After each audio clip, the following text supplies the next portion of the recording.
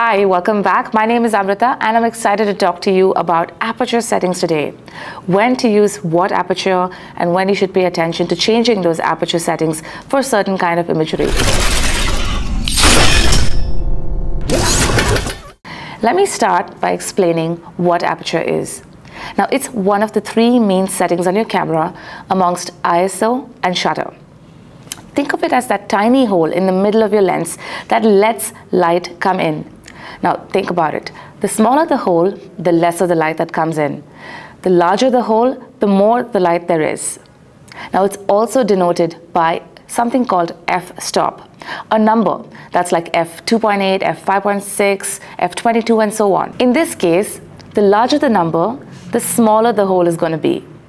But the smaller the number, the wider the hole is going to be. So let me explain that with an example.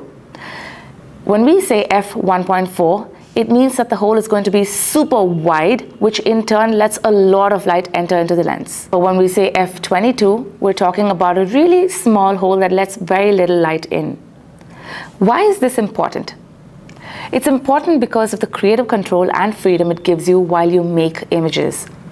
To understand the role of aperture in photography, it's important to understand two things, depth of field and plane of focus. Depth of field in your image is essentially what signifies how much of your frame is in focus and how much of your frame is blurry or blurred out.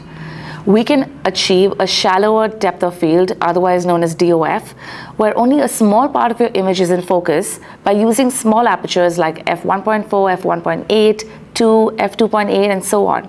But if you want to achieve a more uniform frame where, you know, it's important to keep a majority of your frame in focus, for example, when you're photographing a group of about 10 people, then I would use really small apertures like f8, f11 and so on so as to get everybody in focus. The second part is the plane of focus which refers to the exact point in your image that will be in sharpest focus.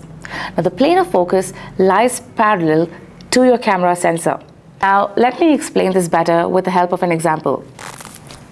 Okay, meet my friend.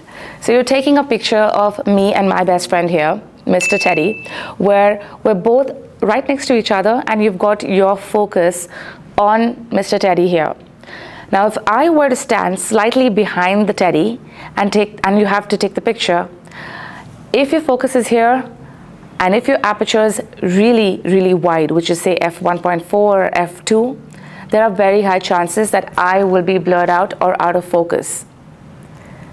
Now, the only thing you can do is have your subject move forward. So the two of us are on the same plane of focus and both of us will be in focus at wide apertures too. Now imagine if there were three to four people standing here and we're all in different planes.